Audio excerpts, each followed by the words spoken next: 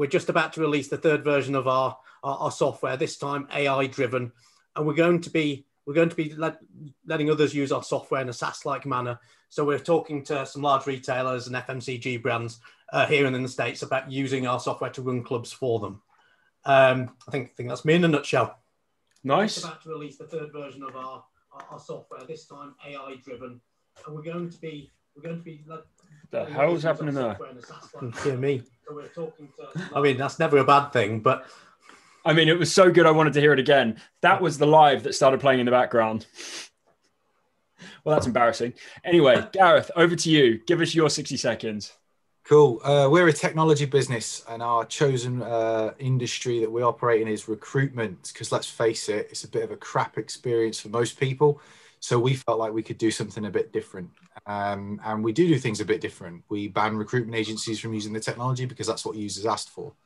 Uh, we don't match on job titles; we match on skills. So we're, you know, a job title can mean anything to anybody, right? Head of happiness, what does that mean? But people use it. So we look at a variety of skills and experiences that make up that personal uh, and professional profile, and then we match it to the requirements of a job.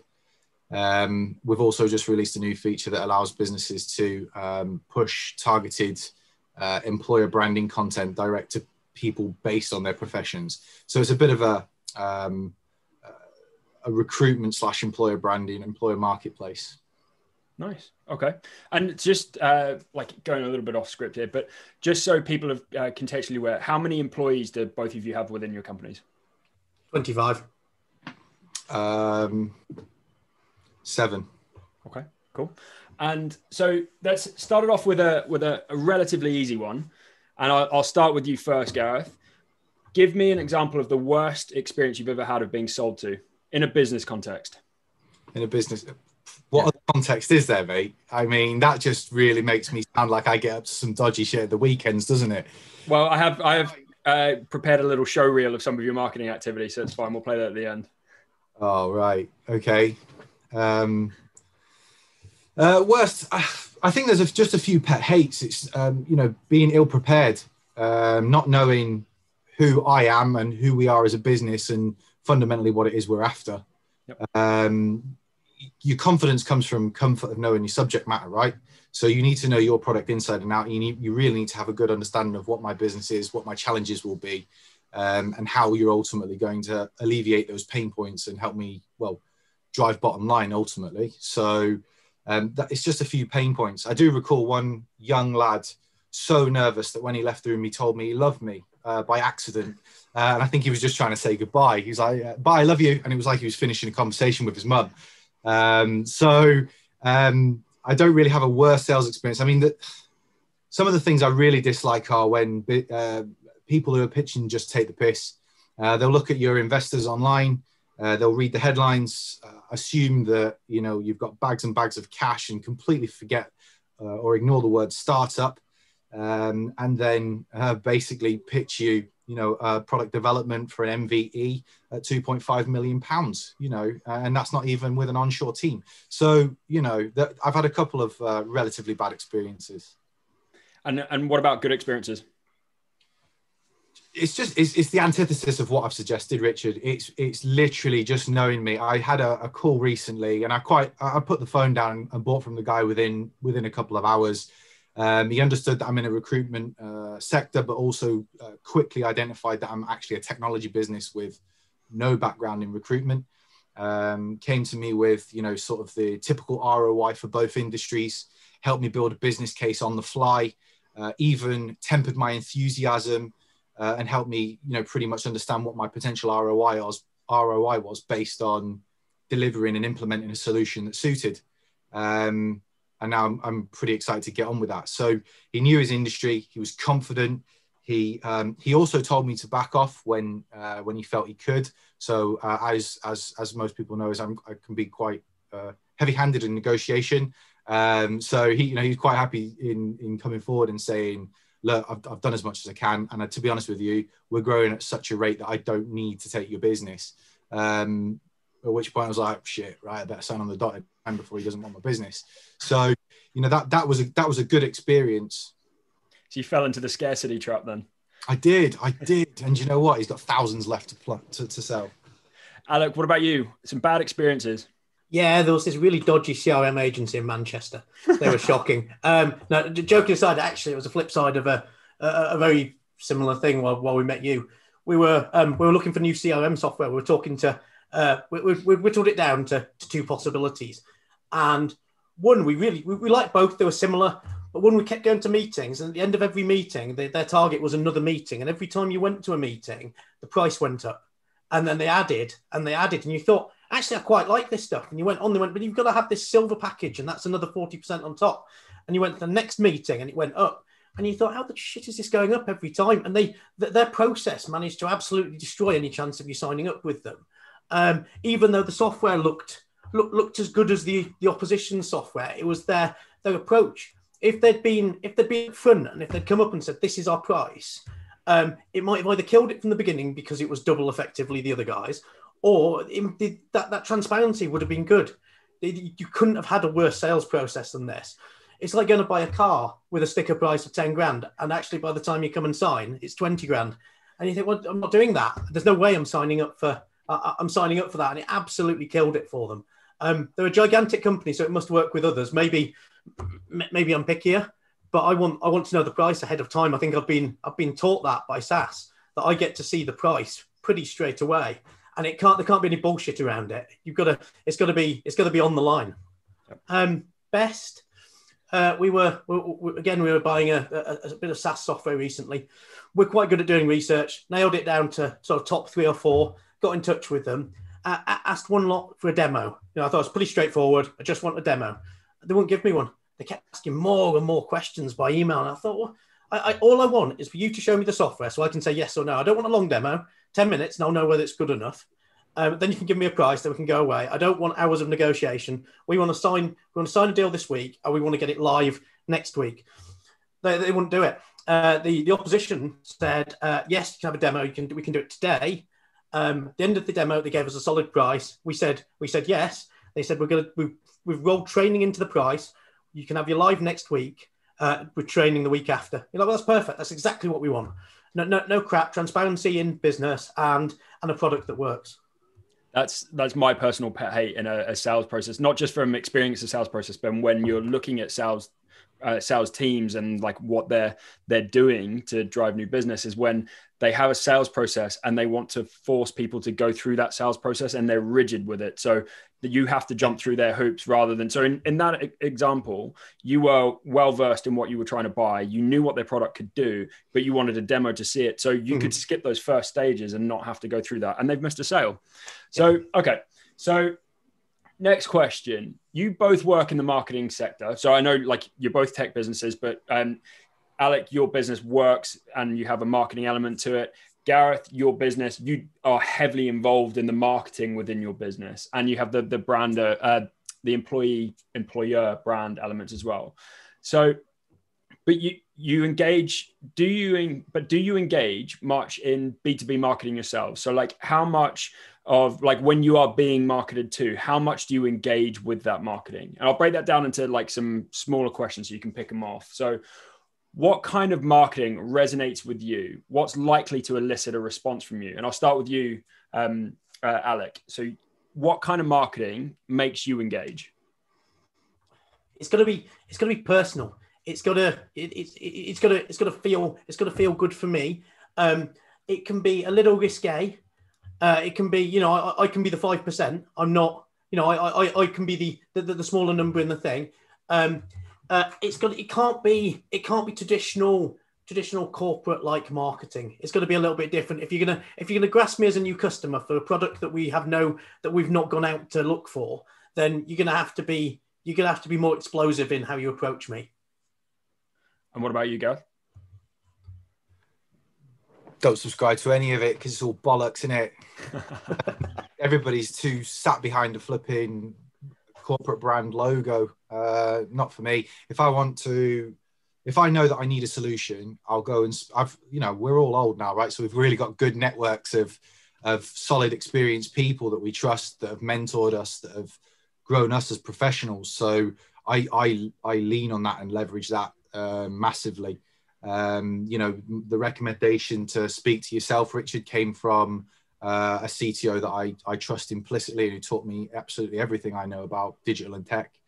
Um, so I've, you know, I've pretty much always engaged on the back of a recommendation. I will look at uh, competitors to it to make sure that that solution is fit for purpose, uh, to benchmark them sort of uh, informally against um, what market rates appear to be, uh, understand features and benefits of the, the varying solutions, but um, invariably it does come down to a recommendation, and that holds serious gravitas for me.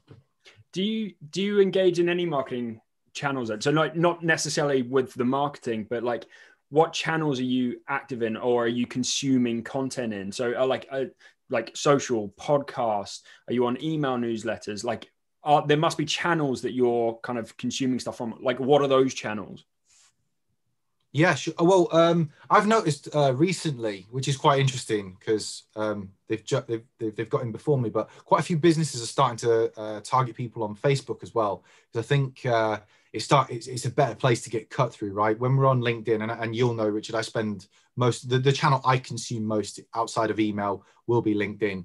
Yeah. Um, but what I've noticed is that I think businesses are cutting onto the fact, or perhaps have been for a while, and I just don't use Facebook enough uh, that you can you can actually get some seriously decent cut through uh, because I'm sick of seeing that seven eight different dog meme and then all of a sudden up pops this SaaS based platform for you know the CRM solution that I'm potentially looking at. So um, you know F- Facebook's one channel that I've noticed stuff coming on with not to say I've engaged with it. Um, I've got a almost like an OCD where I have to get back to people I do not like letting people uh, letting people stew. So I will get back to sales approaches via my LinkedIn in, um, inbox um, and sometimes via email as well. Um, so I would say that if, if you're going to pitch me, you're probably going to want to pitch me in email and you better have a good, a strong subject line that's either um, really uh, on point from a you need us because of this or it's got to be something bonkers like we would do, like uh, outstanding bill, or you know, just a great. Hi, hi, your house is on fire. Yeah, yeah, I've had a few of those from you guys. Thanks for that. what? So, I, um, Alec, what what channels are you consuming? So, like, what kind of marketing do you engage with, or channels if you're not consuming the marketing? Uh, as Gareth was saying, I've LinkedIn all, all over LinkedIn.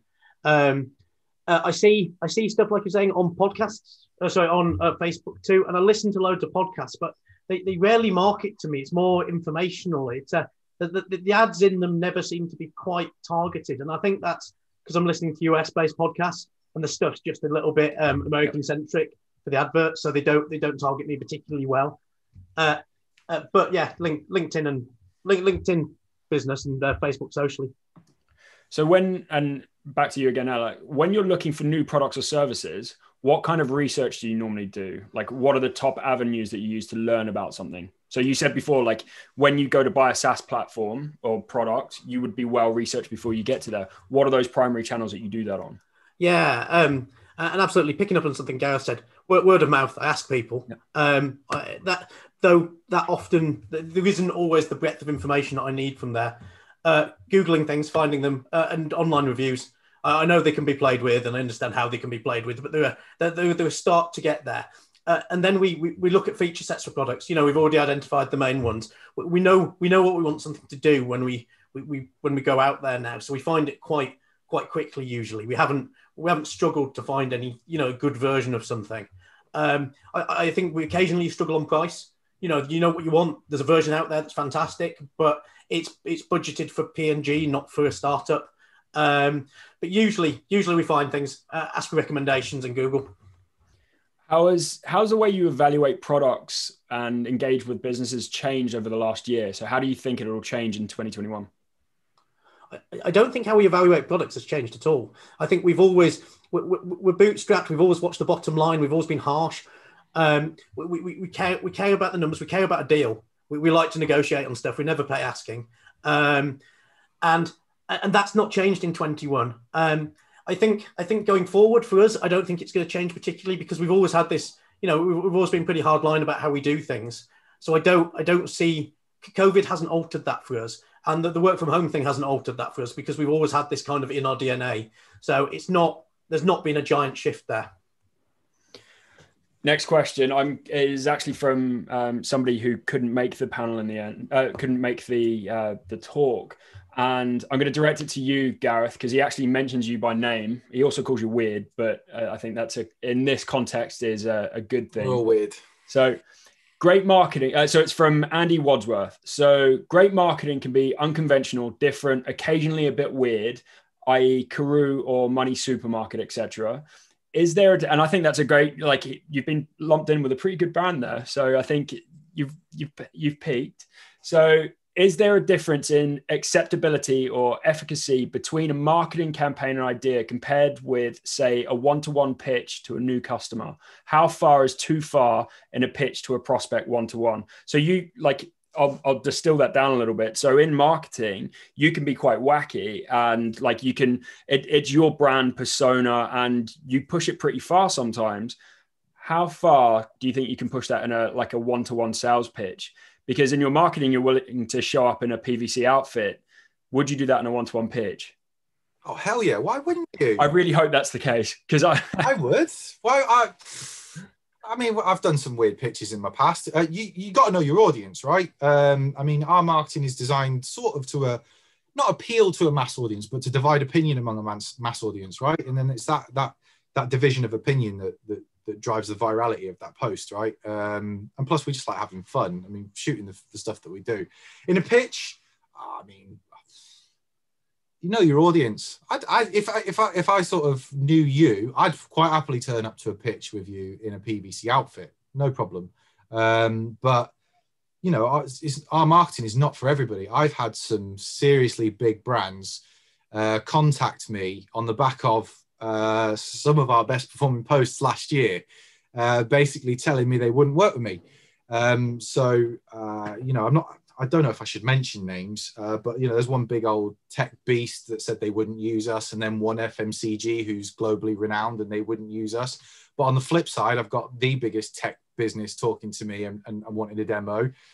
So I mean, wh- whatever you think's going to work. So before I move on from marketing, we sort of dive into the sales side. Um, Charlotte's asked a question on the Q and A. With LinkedIn, are you more likely to engage with a salesperson based on the direct message or the content they are sharing and posting? So I'll start with you, Gareth, then I'll get both your answers and then we'll move on to sales. Um, I think that's a good question, and I've not obviously given that any thought. Knowing what I'm like, I have to, I, I have this thing. I, I, like to respond to people. I don't. I, I'm a big on expectation management. I want I want people to know where I stand on something. If you've taken the time to, you know, uh, personalize a message to me. If you, if you sent me a blank email and it's quite obvious, like for example, somebody called me Gina rather than Gareth, well, you know, I'm not going to respond to that. But if you've taken the time to, in, you know, invest a bit of effort into what it is that you're selling me, then I'll, I'll quite happily tell you no is not the right time and maybe to get back in, in, in touch at a later date. Um, have I engaged with uh, content that's designed to sell to me? I can't remember. I can't put place anything memorable that has that I have engaged with that has then gone on to that, that has then gone on to sell to me. What about you, Alec? I think similar. Uh, approach me directly. Use you know know something about me. Use some personalization. Don't use boilerplate crap. Um, spell my name. Don't just pick my LinkedIn job title and stick it in a message. Um, it's all really obvious is that stuff, and it doesn't work at all. It's going to get you deleted straight away. Um, don't be a recruiter.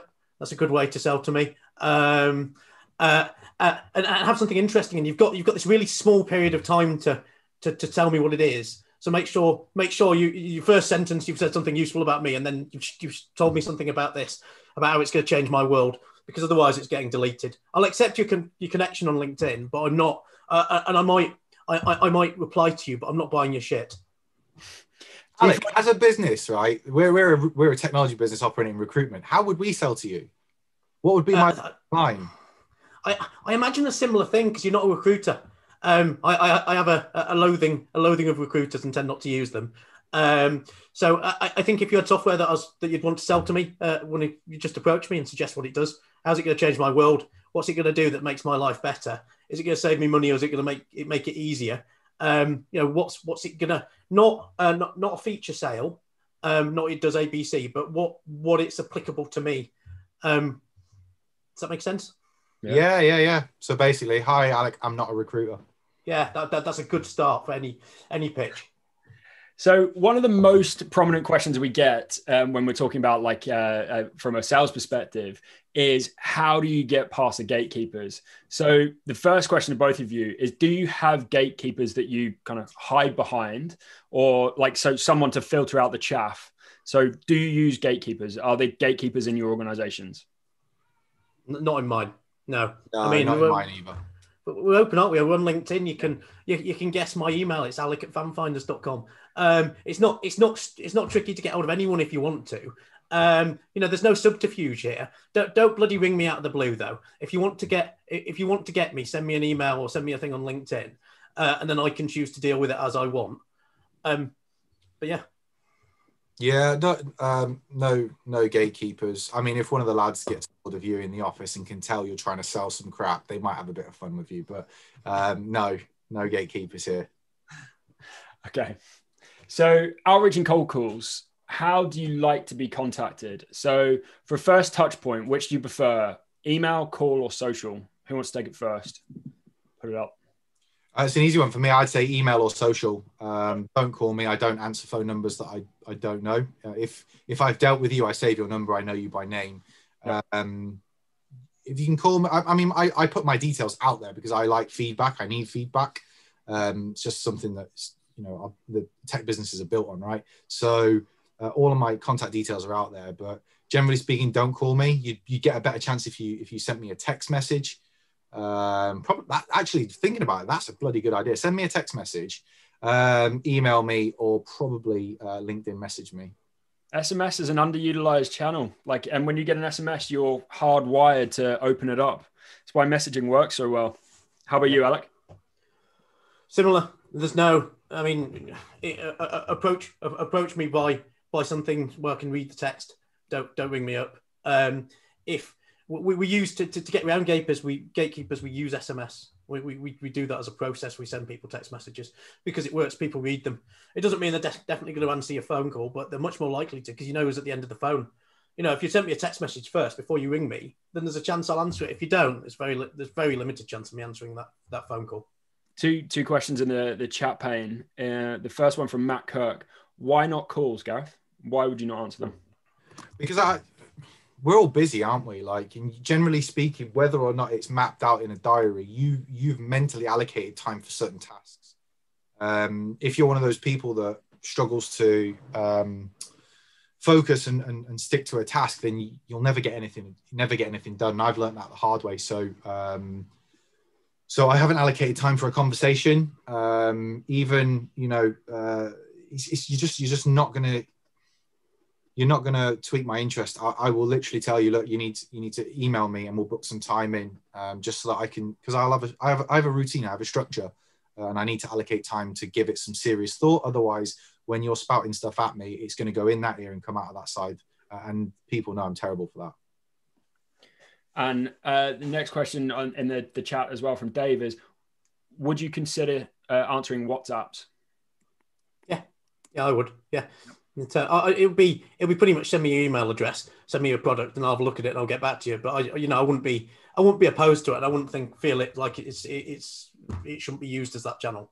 But but Gareth, you feel like it's a, a personal channel? Yeah, I think uh, for me, I do business out of it. In fact, um, some of the strongest relationships that we have uh, in terms of um, delivering that ongoing support and management for our uh, our employers is by creating WhatsApp channels, uh, WhatsApp chats rather. So I'll always create a WhatsApp chat, but only if it's accepted by people. I'd never approach them cold because I think we we spend a lot of our lives in in in WhatsApp, and generally that's with family and friends. So for me, that feels quite a personal space to invade. Um, but by invitation, yeah, certainly go for it. Can you guys think of any any examples of messaging that caught your attention and resonated with you? So like you you responded it to. So you you mentioned like emails and like LinkedIn being a, a preference for uh, connection. Can you think of any examples of good examples that have then got you to respond and engage? So yeah. Alec first. Yeah, it wasn't uh, it, it, wasn't business so much, but there was a chap I used to do some mentoring with. He approached me. He approached me and said, "Look, I, have read read something about what you've done. I'm doing this thing. Can, can we?" Uh, there was some personal stuff about it that you know. So he obviously understood me, uh, and he said, "Are you willing to willing to spend a little bit of time just talking to me occasionally about what I'm doing?" And it worked really well, and it would work in the sales environment too, because it's just it was just personally he had something that he wanted to do. He was nice about me, and uh, and, and that was it. And he, you know, it was it was a decent approach. They um I always find on those approaches, if they if they're quite clear with what they want and there's a reason for both of us and they've obviously done the research and they understand like how I can help them and how they can help me then I'll always reply. Like it they will always elicit a response. It might be a yeah. no but they will get a response. How about you Gareth? I can't honestly think of a necessarily of a sales message, but in terms of getting me to getting my attention to drive a call to action, um, with a hustle yep. magazine out of the US that focuses on tech businesses and share dealing and all that sort of good stuff. Um, I signed up when there were just a few hundred people big years ago, and I've never forgotten um, that in order for me to confirm my email address, they literally called me a jerk. Um, and I was like, what the like, why would you do that? So, you know, it said, look what you've done, dot, dot, dot, you absolute jerk. And then I opened it and I was like, this is absolutely phenomenal. And I've pretty much, I can remember that email like word for word. Um, and, you know, that's something I've taken forward into our style of emails. It doesn't always work. Um, you know, just today I've had a, a major, a major media agency contact me because when you share a candidate profile internally in your organization, you can share candidate details with hiring managers one of the sharing emails, which I completely forgot we we'd, we'd, we'd done, was, uh, um, "Hey, your your colleagues calling you daft. Oh no, you're you're daft if you don't hire this candidate." And they've sent that to their like COO, and she's kicked off and said, "Is this the sort of stuff they send out?" Um, you know, but, but by her own admission, when I got her on the phone, she uh, she said it did make me open the email though one of one of your emails makes me laugh. Like when I get it through, it's the one that um, "Hey, your colleague fancies you" or something like that. Yeah, so you've been invited like, to the platform. What is going on? Yeah, yeah, that's our invitation. So somebody invites you to the platform, basically means they fancy you. Have either of you got any? And and you might not, um, and you don't have to name names if if if you don't want to as well. But have you got any horror stories of uh, like bad outreach, like where somebody has got done a, a, really bad job and it's kind of either offended you or driven you to respond because of how bad it is? There's a lead gen service. Oh, sorry. After you go. No, go on, Alec. You go first, mate. Go on. There's a lead gen service that that that must approach me every week or every other week. Um, it's like they just they just must go straight through salespeople, and they Uh, and it's terrible. It's always the same bloody stuff. And no matter how many lead forensics. Yes, those buggers. Yes. yeah. Yeah. Yeah. Yeah. Come we, on, everybody knows that. Definitely. yeah. Yeah. And, and, no matter how much you tell them to sod off, they just get another person to contact you. And you think this, this shit can't work. Stop it. It's I'll buy from them when they email me to say you're now on your 718th salesperson from Lead Forensics. How about you, Gareth? Yeah, I think I think that's a bit of a it's a bit of a isn't it? You know, constantly uh, hammering. Um, that's that's pretty poor. Um, I think I think like just general blanket automation is a bit is a bit naughty, especially if you're going to get my name wrong. Um, I'm I still have fun with um, recruitment agencies. I mean, this is not them selling to me. Well, it is. In technically, it is because you know they've pulled out some keywords from my uh, my LinkedIn profile that me that, that makes me applicable for the personal assistant role uh, to an MD, uh, and then they've emailed me. Or I still, because I've run tech teams, I still get people saying, "Hey, we've got this junior developer role that you're looking for," and then I'll go back and say, "Hey, this sounds really exciting. Which part of my CV did you really like? Was it the 17 years in PHP development, or um, you know?" And I never get a response. Um, so I, I, think those are terrible approaches because you, yeah, it's, it's basically what Alex is saying. You've not, you've just not understood me. You've not done your research, and quite frankly, I'm just a number to you. So the the podcast that I do with um, uh, Joe from the Marketing Meetup, we uh, we got outreach the other day from a uh, women's bikini brand who she's obviously I don't know where she's managed to get our contact details from, but we're part of a blanket email and she's asked us to be brand ambassadors. So we've sent back and given her the outfits that we want, and she's not replied yet, unfortunately. So. I'd follow that up. Yeah, I, I absolutely will. Of course, we gave her sizes and everything. um, okay, so salespeople. So you both employ salespeople. Um, what traits do you look for when you hire your own salespeople? I think I think hiring salespeople is one of the trickiest things we find in business because um, anyone who's halfway decent at it can sell themselves in an interview. Yep. You know, so they can they can tell you they're good at sales, they can sell themselves, and it's very hard to break down if that person that you've interviewed is the person who's going to show up on Monday, because um, there seems to be there seems to be a, we found a decent fallout between the two of them. The person who comes to the interview and sells themselves as a fantastic salesperson and you believe isn't the person who shows up and is going to ring people on Monday morning. So we we just changed our process. We made our process longer. We have extra steps in it. We have tests. We we talk they talk to more of the team. Uh, we just we just make it more more ingrained and we're looking for like a cultural fit as well as a you know there's there's more to than just some some hard-nosed hunter killer salesperson. You need to that that's you know we're not in the 1980s um it's a different thing now. So uh, we, we, look for the softer signs as well. You know are they going to fit in the team? Are they going to do all that sort of stuff? And uh, uh and previous experience is a good a, a good marker but it's not everything. Um and it's tricky. It's like this level of pushiness you need without being too pushy. We're dealing with we're dealing with really large brands, and you can't go in all cock and bull like you're flogging cars to somebody. You've got to be more nuanced than that. So it's tricky. I, I want somebody who's pushy as hell, but isn't pushy as hell at the same time. I'm, I'm only saying this because he's on he's on here, but you're not talking about Charlie there, are you? No, not at all. No, no. There's, there's, more than one of my sales guys on this watching. Um, Charlie. Um, he's, he's asking who. Anyway, so uh, and what about you, Gareth? What do you look for when you employ salespeople? Um, I think I think salespeople should really do a good job of asking the right questions. So you know, if we sit down and and it's me leading the conversation, that's a worrying sign. Um, I think you need you need to ask a number of different uh, questions because ultimately that is then going to inform how you pitch yourself to me. That's your product. That you are your product, and you should be able to sell yourself um, in a variety of different ways. But you need to understand what it is that I'm looking for, and then and then tailor it to that.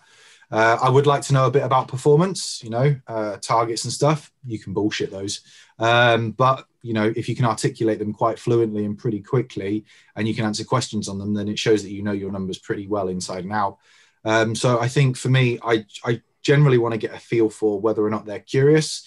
Uh, so how you know, do we just go for brands that are hiring? Well, no, we don't just look at brands that are hiring. What about brands that are scaling and growing? Or if we want a candidate acquisition, what about brands that are not just you know operating now where there's um, a bad ethos or a bad culture that we know about, but what about band, brands that are potentially going out of business? You know, so it's, it's, it's having that dynam- dynamism from from a thought process in terms of you know are you curious and then i think something that's key key with um, key with sales people is persistence so how do you demonstrate that persistence Alec, um, Dave's just answered this in the question based on your answer. When does pushy become pushy, like too pushy? I think that's tricky. Um, I, I, think the devil's in the detail. Then you know when you, you are doing it, you've got to you've got to push to close something. But if you push too much, that thing's not going to close. It's going to go away. Um, when I when I used to be a used to be a contractor in a different life. I used to um towards when I got really good at it. You know, I'd been doing like forty or fifty interviews, um, and you get the interview, and you'd know they need you to start Monday. So I'd start, you know, I'd ask towards the end of the interview. You know, I wouldn't wait for them to make a decision after I'd left the room. I was getting them to make the decision in the room. Um, but that that that pushy becomes that that backfired a couple of times. Um, and I think it's it's tricky. You need to you need to be able to read the read the room you're in to decide how pushy you can be. So I don't think there's one answer there.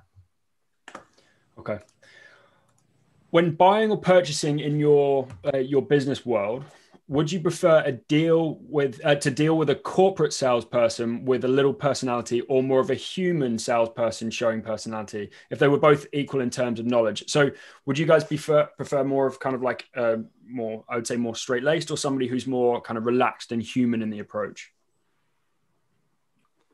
And is and, and to add to that actually does is that then determined on what you're buying and what kind of process you're going through or do you do you have a stereotype of or not stereotype uh, like an archetype of a salesperson that you like to work with regardless of what you're buying or do you want something more straight laced because you're you're buying something that's a higher ticket value? Do you change what you want in a salesperson when you're being sold to? I think i'd like to deal with their love child if i'm honest. I think i think i want the bluntness of somebody who should you know, who, who in theory, I suppose you could deem as corporate. Yeah. Um, but then relatively relaxed um, I mean, ultimately, if a salesperson isn't a people people and human and welcoming and has the the correct body language to make you open up and feel comfortable, maybe you know, my big thing is, do you create a personal connection instantly with that person? I always looked to try and find, you know, whether I pick up when back in the old days when we used to sell billboards and stuff, you know, those things do exist still.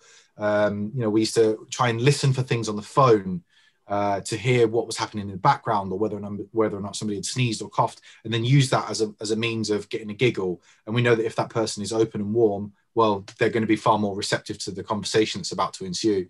So you know that. Yeah, I, I I'd like a bit of both, if I'm honest. I, I really like the person that I dealt with recently. They were um, they were direct. They didn't give me any bullshit. They gave me the numbers I were after. I was after. They gave me. Uh, they helped me build the business case on the fly, and they told me to do one at the right appropriate times. So, you know, for me, that was probably the love. I've probably met the love child of the people you're talking about. Hiram or her. Alec? Uh, similar, I think. Um, I, I, don't think it alters based upon how much money we're spending. Um, you're buying, you're buying the person, you're buying the relationship. I think I'm buying into the, the, the company's ethos that I'm buying into in that person. Yeah. I think I, you know, there's like you're demonstrating what I expect everyone else to be like from, from here on in. Um, and, and I want I want humans who are available rather than some sort of bloke in a suit um, who's who's following a script, who's trying to go going back that thing I was talking about earlier that the CRM company they were just following this script like this, you know, this meeting, that meeting, the other, and it just destroyed things. You need you need to be able to see that each sale is a potentially different sale and that the hoops you're going to have to jump through are going to be slightly different. And some people, so sometimes I want to make a quick decision. You know, you usually, usually I know that I want the thing you're selling if I've approached you, or if you've approached me and we're there. Once we once we've gone past the needs, I, I I want I want to close it quite quickly. I don't want to cock about, so I need you to be efficient and listen to me. I don't need you to be following some script that some guy who's not in the room set up for you. Think, yeah, be aware of your audience as well. Like when I was at Manchester Airport we used to deal with, you know, many of the big four consultancies, um, and they re- religiously they would turn up in suits, right, suited and booted. Uh, but we were setting up a new digital agency to, you know, Mago to be part of the airport.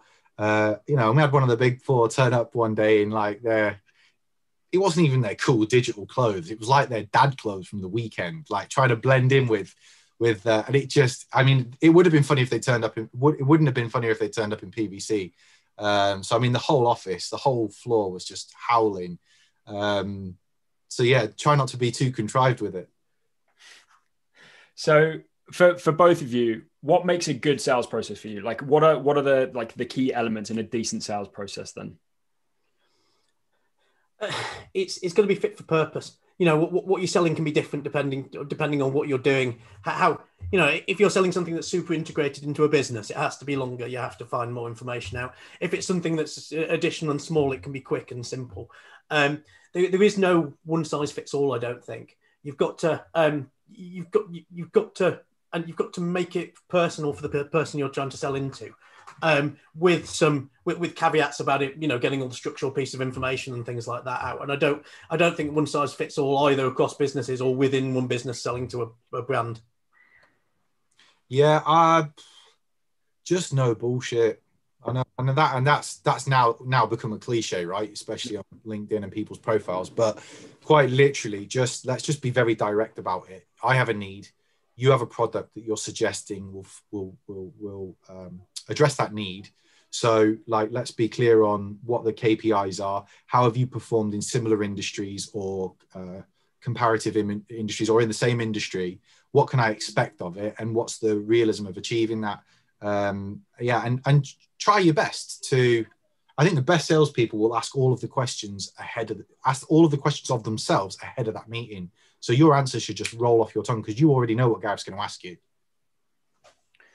Right. Last question from me, and then we've got some from uh, from the um, attendees as well. So, what's one thing you wish salespeople would stop doing in 2021 and start doing instead? And likewise for marketers. Alec, you first. Um, for marketers, stop stop flogging stop flogging the features. I said this earlier, but start stop start selling the problems. I saw this fantastic ad Shopify did, and it was, it was, I think it was somebody who had a little store and they were wanting to sell online, and they were they went through the issues they have with selling, and you can do this easily on the store. But they, they were showing they were showing how it helped this uh, this lady actually sell online. It didn't it didn't say we do this and you can sell some shit. It said we're helping we're helping Sue sell her shit online, and it was a much better approach to how to do it. Um, but you still see these old ads going, "My product does ABC," and like I don't, I don't care. That's not. I, am finding it hard to grasp that because you know you've only got my attention for such a small period of time. Don't don't waste it on on, on the wrong thing. Charlie Charlie sums it up quite well there. Sell the sizzle, not the bacon. what about you, Gav? Uh, what do I what do I don't like? Yeah, don't don't do the small talk. I haven't got time for the small talk. Like, sell me the dream quickly, uh, grab my attention, and book in some time. Um, that's that's that's that's what I expect from salespeople. Um, from marketers, I don't know what I expect. Let's just be a bit more human about it. Uh, you know, like the, the way that we run our, our marketing is to put our people first. Because if if I can if I can make David famous, who deserves to be famous because he's a top bloody guy, he's he's only geared towards over delivering. Uh, he's got nothing but love for the, for our brand and for the people that he deals with, and he genuinely wants to go above and beyond. That's more important than my logo, right? And and and if we believe this mantra that people buy from people, then why aren't your people in front of your brand? Um, uh, so I, I just think we've got to make it more human. Um, and I think I think Alec's right as well. Like, stop talking about yourself and your features and start talking about my problems. That's going to resonate. Yep. And one more thing there, just that you Gareth made me think of don't talk about you as a person. I, I, don't give a shit what you had for breakfast, what color your dog is, and stuff like that. Usually, you know, it's nice if your dog runs past and we, we've, we've found a nice point of interest. But usually, I, and I don't care how long you've worked in this industry, it's not relevant. Um, your your story isn't that exciting to me. I know it is to you, but don't don't sell me you. Sell me your thing. I think great points, both. Right. So, a couple of questions from the floor. So, what are your thoughts on meeting links and emails? So, I'm assuming that's from a cold email. So, somebody sends you out a, a cold email and it's got a meeting link in it. How do you feel about that? Very tactical question. I don't know. I don't know. I'm, I'm, I'm, I'm not sat. I'm sat on the fence with it. I know, like our team likes putting them in. Um, I'm, I'm a little bit. Hold on, it's a bit assumptive, isn't it? You, you, you think I want a meeting with you? Why do you think I want a meeting with you? And I don't know if that's me feeling like feeling like elitist and that you should make the effort with me. I don't, I don't know where I, I, sit on the fence with it. Like, I suppose I, I suppose I'd defer to show me the numbers. Like, if it works, let's do it, and if it doesn't, take that shit out. Yeah, I think I think I'm similar. Um, but I, I definitely used one. I used one the other day. You know, cold email. I booked a booked a meeting off the back of it. But I think I was interested in the product. So, so maybe maybe my selection is based upon how how well the rest of the email is. If it's good, then I might use it. If the rest of the email's dog, then I won't. So, like my my perspective on that, these aren't my questions, so I'm going to jump in and answer as well now. So, my perspective on that is that I feel like when it's a cold outreach, I would rather try and start the conversation and then try and book a meeting off the back of it. So, if I can elicit a response and then move into that, try and get the meeting booked frame, I think the conversation is going to be much better for both parties because I've also had the ability to qualify whether or not there's actually a need there. Because otherwise, you could end up with people who are going to book meetings that aren't actually relevant to you anyway. Um, so I think that kind of it, it flies both ways. Um, a, a, question from Sam Ske- uh, Skelding do you think being in a business headspace really exists on social? Gareth mentioned noticing how business posts can cut through the uh, plethora of memes on Facebook, but hasn't necessarily engaged. What messaging or approach would bridge that gap? And can this idea of going against the flow work on any platform where you might not expect to see that business or marketing content? It's a big question. I'm not sure I yeah. There's a lot of words in there. Yeah, yeah. So, let me see if I can distill that one down. So, what messaging or approach would bridge the gap, and can this idea of going against the flow work on any platform where you might not expect to see that or business and marketing content? So, you're advertising on Facebook. There's a lot of memes out there. Is there a way to take your business message and not make it entirely jar against the memes and other drivel that you get shared on Facebook? Is there a way to bridge that gap? Well, I think you I think you will get engagement on the likes of Facebook. So I don't I genuinely don't believe that decision makers switch off. I just don't I don't think I don't switch off. So if, if you get me at nine o'clock at night on Facebook or whenever it is that you'd have to ask Facebook when I go on, I don't know. Um, but um, if if you if you manage to, th- there will be a way to bridge that gap, and you will be able. I mean, like I said, you've captured my attention. I've seen a few different brands, all in all selling technology products, all that relate to my business. Um, would I engage with them? I don't know. Perhaps I'd have to be thinking. I don't know the answer to that, Sam. I'm not going to lie. I think, I think it needs to be more playful. I think it needs to fit fit in slightly better with the uh, with with the surrounding than it would than it would. So I, I may, maybe I'd have a different approach on uh, Facebook to LinkedIn or to Twitter. You know, there's just a slightly different different nuanced feeling there, uh, and maybe you take it further. Maybe there's like a, way you could do it on YouTube or something like that, but it would have to it would have to fit in well. I think with the the, the, the, the surrounding. Andy Lord, question for you, Gareth what's next for the videos for Caroo? and do they actually drive sales? The singing on the last one was so bad, I loved it. Uh, what's next? I don't. I don't know. Oh well, I do know what's next. I know what's what's coming next week. Um, and I'm glad you loved the singing. There's a hint. Um, what's next? I don't know. Um, we we don't really tend to plan weeks or months in advance. Um, we tend to wait and see what's kind of top. We might we might look at what's topical um, and and then and then leverage that. We certainly do that for like paid media assets, and our our paid media gets super super good engagement. Um, do they drive sales? They drive inquiries and leads, and then we convert those. So yeah, we we um, we do we do all right out of those, but I think there's certainly room for for improving that. I think we're great at gener- generating the awareness. It's it's moving that into maybe more of a, a consideration for the product. I always get people ask me, "You guys are great with the videos. What is it that you actually do?" Uh, it's got something to do with recruitment, and for me, that's perfect. Bang, right, brilliant. You know that we're we're in and around the fringes of recruitment. And what we've started to do now is um, we're still going to keep our usual style around uh, around the videos, but you you might notice from the one that Andy is referring to with the singing being so bad, we're actually talking about product features. Now, um, I was a bit nervous about doing it around product features but it's brilliant to see that people are calling out those product features and people are sharing it and pulling out the fact that this is a product feature. So uh, that's worked. And we've also started being far more active on our brand profile, which is a little bit more, it's still Caroo, but it's a little bit more about us rather than just us being idiots. Next, next question I'm going to point towards you, Alec, from Dan Vandervelde. Do you engage when salespeople name drop bigger companies they work with? No, it, it feels. If, I don't think it helps. I think that probably pushes me away. It feels crass, and I don't think it. C- comparing, so saying Coca Cola use your product. Well, we're twenty five people. They're twenty five thousand. It's not relevant. It um, t- telling me Gareth's company use my product is probably more relevant. But nobody's going to name drop either of our companies unless it's incredibly specific because we're very small and people won't know who we are.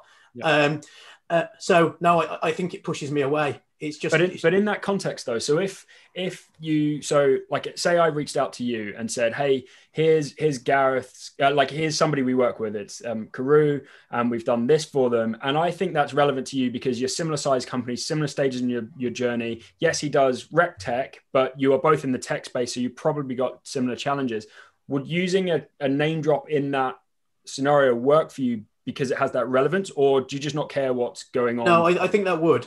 Um, but I think it's more it's more it's more you calling out the MD of the other firm rather than anything else there yep. and saying this this company do this. But that's not how it bloody works though. No one does that.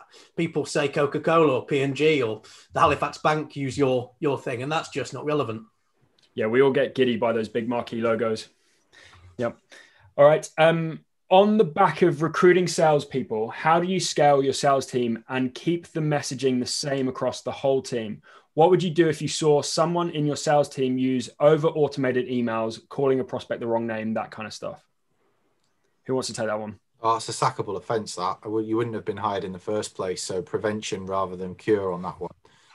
Um, keep your sales people keep your salespeople happy. If you haven't got a salesperson that's asking for more money, you haven't got a salesperson, right? So keep them keep them happy. Good salespeople are hard to come by, um, and do everything you can to keep them so that you don't have to go out and recruit again. If you are scaling, then you're you're. A, I, I, I always question: Are you looking to um, to replicate the same salesperson, but fundamentally, I think people have different approaches and and different things work. So, I think that's a I think that's a fantastic question. By the way, I think it's hard to it's hard to know how to scale, but um, definitely want to retain good salespeople. You don't want to lose them.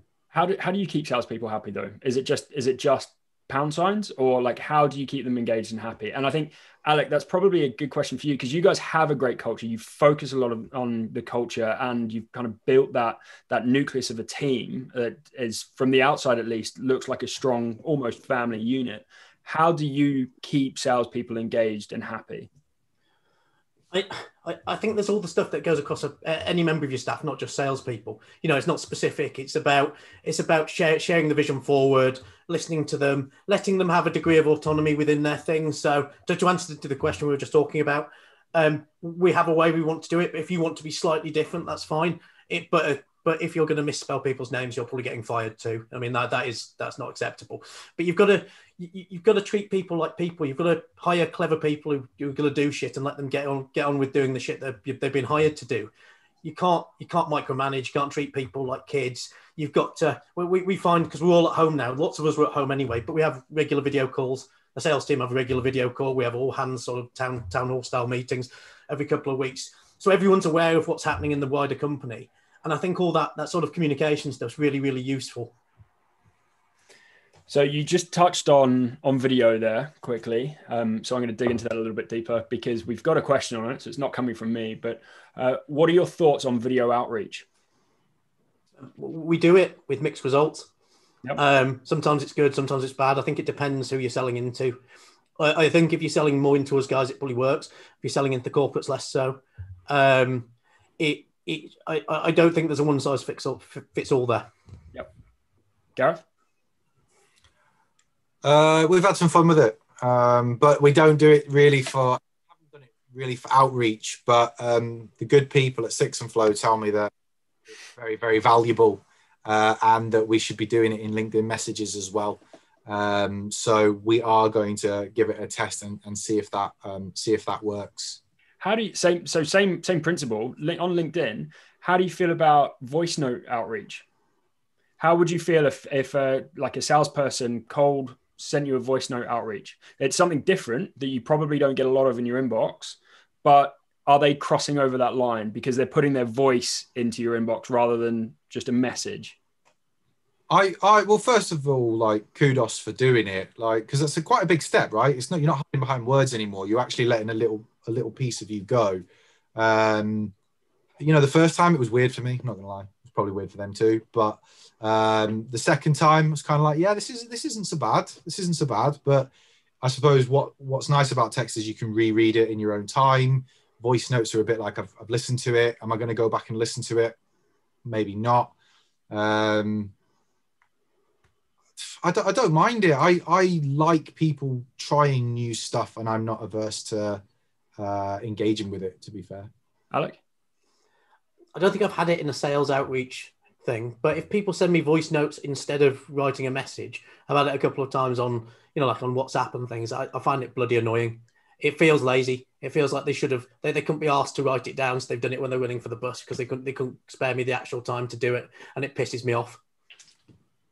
Um, so um, Matt, I, I can pick up that that question with you on a specific framework for the stuff, and I'm sure we've got some like guides and content that can like outline that stuff on, on how to use um, video in in messaging.